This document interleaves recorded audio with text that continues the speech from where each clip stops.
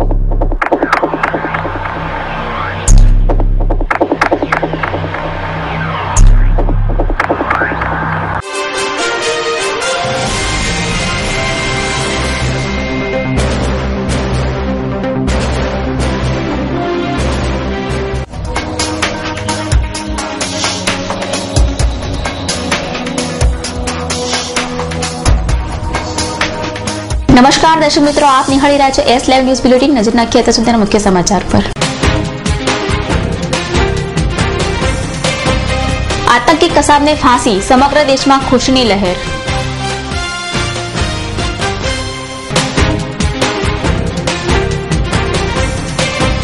પોતાના ટેકેદારોને ટિકિટ અપાવવા ટોચના નેતાઓના દમ પછાડા.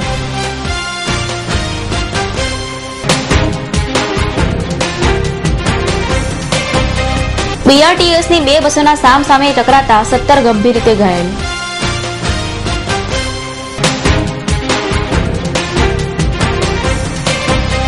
વાયબ્રન્ટના નામે ગુજરાતને છેતરવાનો ભાજપનો પ્રયાસ, ગિરિજા વ્યાસનો આક્ષેપ.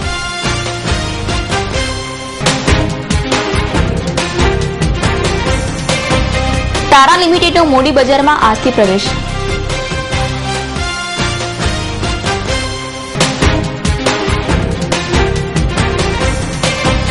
જલારામ જયંતીની ભક્તિભાવપૂર્વક ઉજવણી.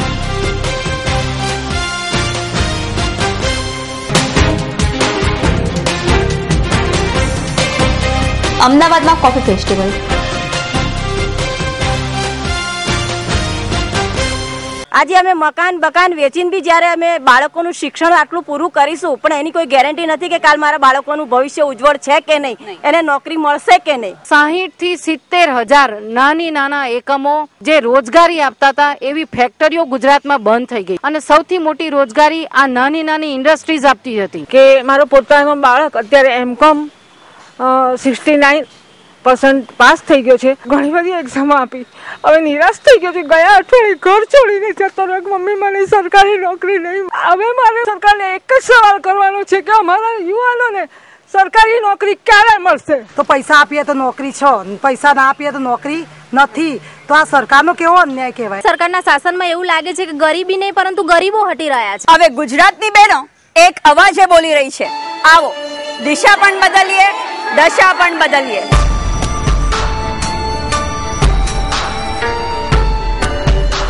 મુંબઈ હુમલાનો આરોપી આતંકવાદી અજમલ કસાબને આજે સવારે ફાંસી આપી દેવામાં આવી છે. કસાબને પુણેની યરવાડા જેલમાં લઈ જવાયા બાદ આજે સવારે સાડા સાત વાગ્યે ફાંસી આપી દીધી છે. ડોક્ટરે કસાબના મૃત્યુની પુષ્ટિ કરી છે. કસાબને સોમવારે મુંબઈથી પુણે લવાયો હતો. મહત્વપૂર્ણ છે કે ઓગણત્રીસ ઓક્ટોબર બે હજાર બારના રોજ સુપ્રીમ કોર્ટે કસાબને ફાંસીની સજા સંભળાવી હતી. આ આતંકવાદી હુમલામાં એકસો છાસઠ લોકોના મોત નીપજ્યા હતા. સાહેબને ફાંસી આપી એ જાણીને ઘણો આનંદ થયો. દેશને જે માણસ ગમે તેમ ઘૂસી અને દેશમાં અંધાધૂંધી ફેલાઈ હતી, અરાજકતા. અત્યાર સુધી આપણે કેમ બેસી રહ્યા એનો જ સવાલ હતો. હવે દિવાળી તો પૂરી થઈ, પણ બીજી વાર દિવાળી મનાવવાનું મન કસાબને ફાંસી અપાઈ સમાચાર જાણ્યા. આ ઘણું સારું ડિસિશન છે. આનાથી ચોક્કસ આતંકવાદ ફેલાવનાર અને આતંકવાદ કરનાર એની પર ચોક્કસ અસર પડશે અને ભારત માટે બહુ જરૂરી હતું. અને આ પગલું લેવું ચોક્કસ જરૂરી છે. કસાબને ફાંસી આપવામાં કેન્દ્રની કોંગ્રેસ સરકારે ઘણો વિલંબ કર્યો છે. દેશની શાંતિને જે તત્વો દોડતા હોય, દેશના નાગરિકો જે તત્વો હત્યા કરતા હોય એની સાથે માનવતાભર્યું વલણ દાખવવાની કોંગ્રેસ સરકારની જે કુચેષ્ટા અને ફાંસીનો નિર્ણય આવી ગયો હોવા છતાંય ઘણા બધા સમય સુધી એ નિર્ણયને પાછળ ઠેલતા રહેવું એ દેશ માટે દુર્ભાગ્યપૂર્ણ બાબત છે. કસાબને તો ફાંસી આપી, પરંતુ આ ઉપરાંતના દેશની સંસદ પર હુમલો કરનારા અફજલ ગુરુ સહિતના જે આતંકવાદી તત્વો છે, કે આતંકવાદી તત્વોની સામે કડક પગલાં લઈ જે પણ પ્રકારની સજાની જોગવાઈ કરવામાં આવી હોય, એ સજા તાત્કાલિક આપવી જોઈએ અને દેશની એકતા અને અખંડિતતા અને મજબૂત કરવા માટેનું પગલું સરકારે લેવું જોઈએ. આજે સવારે જ્યારે જાણ્યું કે કસાબને ફાંસી આપી એ જાણીને બહુ આનંદ થયો. અને આ પગલું એવું છે સરકારનું કે જેથી લોકોને ન્યાયતંત્રમાં વિશ્વાસ બેસે. દેર આયે લેકિન દુરસ્ત આયે આપને આજે સવારે જે ફાંસી આપવામાં આવી, તે પગલું આવકારદાયક છે અને ટેરરિઝમની એક માત થઈ છે. એ ખરેખર યોગ્ય વસ્તુ થઈ છે. એનાથી હું ઘણો ખુશ છું. ભારતીય ન્યાયતંત્ર પર મને પૂરો ભરોસો છે અને જે કાયદાકીય રીતે થયું છે એ ઘણું સારું થયું છે. અને સરકાર આતંકવાદી અજમલ કસાબને આજ ફાંસી આપવામાં આવી છે. તે બદલ ભારત સરકાર અને મહારાષ્ટ્ર સરકારે લીધેલા પગલાંને હું અભિનંદન આપું છું કે તેમણે આતંકવાદી પ્રવૃત્તિઓ સામે જે કડક થઈને જે પગલાં લીધા તે ખરેખર સરાહનીય છે અને સમગ્ર દેશ એ બાબતમાં ગૌરવની લાગણી અનુભવે છે. કસાબને આજે ફાંસી આપવામાં આવી છે. ન્યાયતંત્રની પ્રક્રિયા મુજબ સંપૂર્ણ કાર્યવાહી બાદ રાષ્ટ્રપતિએ એની દયાની અરજી નકારી કાઢ્યા બાદ આજે ફાંસી આપવામાં આવી છે. કસાબની ઉપર ભારતીય જનતા પાર્ટી સહિતના વિરોધ પક્ષોએ અનેક રાજનીતિ કરીને લોકોની ધાર્મિક લાગણીઓ દુભાવવાનો પ્રયાસ કર્યો હતો.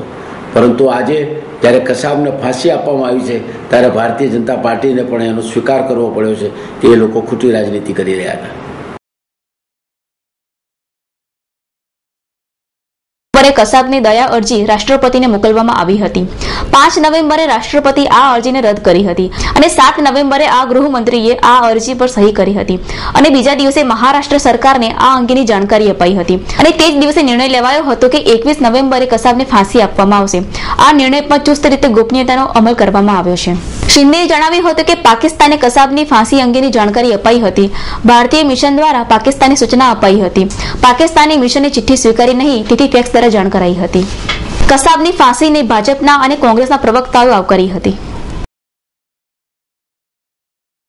ગુજરાત વિધાનસભાની ચૂંટણી નજીક આવતા જ ભાજપ અને કોંગ્રેસના ટોચના પ્રદેશ નેતાઓ પોતાના ટેકેદારોને ટિકિટ અપાવવા માટે ખેંચતાણ કરી રહ્યા છે. પરંતુ મળવાને કારણે યાદી મોડી જાહેર થાય તેવી શક્યતા છે. કોંગ્રેસ એનસીપીની વાત કરીએ તો આ બંને વચ્ચેનું ગઠબંધન તૂટે તેવું લાગતું હતું. પરંતુ મોડી રાત્રે ફરી બેઠકનો દોર શરૂ થયો હતો. એનસીપીના નેતા પ્રફુલ પટેલે કોંગ્રેસના નેતા સાથે બેઠક યોજી હતી અને સમાધાનની સ્થિતિ પર આવે તેવી શક્યતા છે. જોકે ગુજરાતના એનસીપીના પ્રમુખ જયંત બોસ્કીએ એકસો બ્યાસી સીટો પરથી એકલે હાથે લડવાની વાત પણ દોહરાવી હતી. અને ત્યારબાદ બેઠકોનો દોર શરૂ થયો હતો. આજે કોંગ્રેસ દ્વારા પ્રથમ તબક્કાની યાદી જાહેર થનાર છે. એટલે શંકરસિંહ બાપુ, મોઢવાડિયા શક્તિસિંહ ગોહિલ અને ભરતસિંહ સોલંકી સહિતના નેતાઓ પોતાના ટેકેદારોની યાદી લઈ દિલ્હી પહોંચ્યા છે. હવે જોવાનું એ રહે છે કે આમાંથી કેટલા નેતા પોતાના ટેકેદારોની ટિકિટ અપાવી શકે છે. તો ભાજપની પણ આ જ સ્થિતિ છે. પોતાના ઉમેદવારોને ટિકિટ અપાય તેવા પ્રયત્નો ભાજપના નેતાઓએ આરંભી દીધા છે. આનંદીબેન પટેલ, અમિત શાહ, પુરુષોત્તમ રૂપાલા સહિતના જૂથ પણ પોતાના ટેકેદારોની ટિકિટ માટે પડાપડી કરી રહ્યા છે.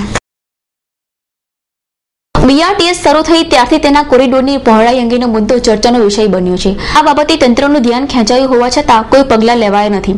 અને ગઈકાલે બીઆરટીએસની બે બસો સામસામે ટકરાતા સર્જાયેલા અકસ્માતમાં બંને બસના ચાલકો ગંભીર રીતે ઘવાયા છે.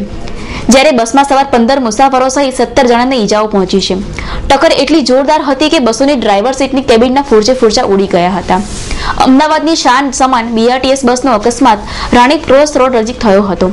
બે બીઆરટીએસ સામસામે અથડાયાની આ પ્રથમ ઘટના છે. ઘટનાને પગલે લોકોમાં પણ ભારે રોષ વ્યાપી ગયો છે. ગુજરાતમાં બે ચહેરા છે. કાલ્પનિક અને વાસ્તવિક ચિત્ર છુપાવીને ભાજપે પ્રજા સાથે છળ કર્યો હોવાનું જણાવતા અખિલ ભારતીય કોંગ્રેસ સમિતિના વિચાર વિભાગના અધ્યક્ષ અને સાંસદ ગિરિજા વ્યાસી જણાવ્યું હતું કે ગુજરાત તો આઝાદી પહેલા વિકાસશીલ રાજ્ય છે. તે સમયે ગુજરાતમાં અનેક ઉદ્યોગોએ વિકાસ સાધ્યો હતો. કોંગ્રેસના શાસનમાં વિકાસ દર ખૂબ જ ઊંચો રહ્યો હતો, જ્યારે ભાજપના શાસનમાં તે ઘટીને સાત ટકાથી પણ ઓછો છે. ભાજપે વાયબ્રન્ટ તથા ગુજરાત પરિવર્તનના નામે પ્રજા સાથે છળ કર્યું છે. क्या कि हम जनता की आवाज़ के साथ अपनी आवाज़ मिलाकर हम अपना वोट मांगने आए हैं? जनता जनार्दन के समक्ष जनता जान चुकी है कि इन वर्षों में केवल वाइब्रेंट गुजरात के नाम पर, गुजरात गौरव के नाम पर लोगों को छला गया है, लोगों के साथ मज़ाक किया गया है। न उनकी आर्थिक स्थिति सुधरी है, न उनकी सामाजिक स्थिति में बदलाव आया है, न उनके रहन सहन में बदलाव आया है, बल्कि और जो सुरक्षा की दृष्टि से एक सुरक्षात्मक जो सर्वश्रेष्ठ राज्य था, उसमें भी कमी आई है। ऐसी हालत में निश्चित तौर पर जनता जनार्दन का मन कांग्रेस को वोट देने का है और वोट निश्चित तौर पर सरकार बनाने में के लिए गुजरात की जनता प्रतिबद्ध है कि कांग्रेस की सरकार बने। तो तब बढ़ेगा जब फिर से ट्रैक पर गुजरात आएगा। फिर से इंडस्ट्रियल डेवलपमेंट होगा।